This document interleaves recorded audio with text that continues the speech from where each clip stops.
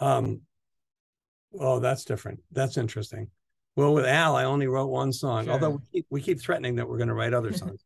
but I was up at his place, up at up in uh, up in um, uh, uh, um, a Big Sur, and I he, he had that little he had the, what's called now the Red Barn, but he Yeah. was just starting it, you know. And I sat down and I started playing, some- you know, kind of, and uh, and then I I had this idea of of using the Bach a Bach chorale and and um and then he started singing. It was just it was just spontaneous. Sure. um and then you know i don't know if you've ever seen the video of the original video of lady lynda.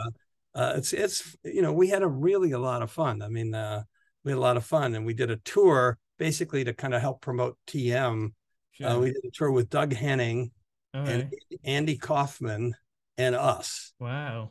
yeah yeah yeah it was whacked completely whacked. Yeah, yeah. Uh but uh and um and uh it was in that was in 1977 the fall i think right.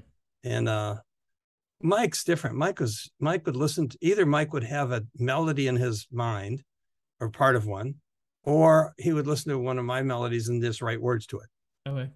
yeah and it was it was it was it, i it was easy Sure.